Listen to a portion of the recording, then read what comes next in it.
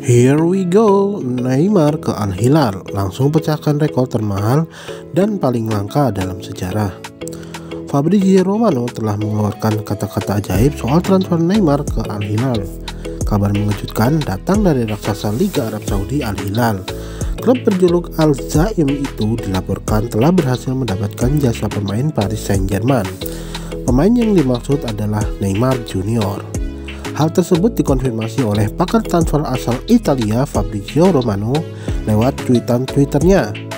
Romano telah mengeluarkan kata-kata "Here we go" dalam postingannya mengenai transfer Neymar ke Al Hilal, sehingga transfer tersebut biasanya akan terrealisasi dalam jangka waktu dekat ini. Neymar menjalani tes medis pada Senin 14 Agustus 2023 untuk bagian pertama proses kepindahannya ke Saudi Arabia. Dalam postingannya, Ramadan juga membeberkan dua detail transfer Neymar ke Al Hilal. Pertama, Neymar akan dikontrak selama 2 tahun oleh Al Hilal. Kedua, bekas pemain Barcelona itu mendapatkan nomor punggung 10.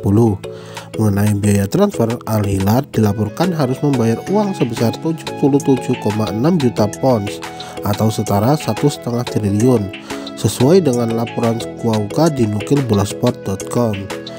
Biaya sebesar itu membuat Neymar langsung memecahkan dua rekor.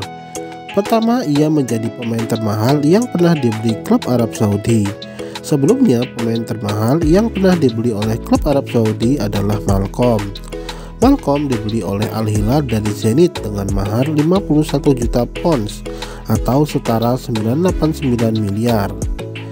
Kedua, Neymar akan menjadi pemain pertama dalam sejarah yang punya transfer termahal secara akumulatif masih dari Sekuauka, Neymar menjadi pemain pertama dalam sejarah yang mengumpulkan biaya transfer sebesar 300 juta pound sterling lebih. Jumlah di atas didapatkan dari biaya transfernya selama ini. Rinciannya adalah 50,8 juta pounds dari Santos ke Barcelona, kemudian 198 juta pounds dari Barcelona ke PSG, dan 77,6 juta dari PSG ke Al Hilal. Total transfer Neymar mengumpulkan 326,4 juta pounds atau setara dengan 6,3 triliun rupiah.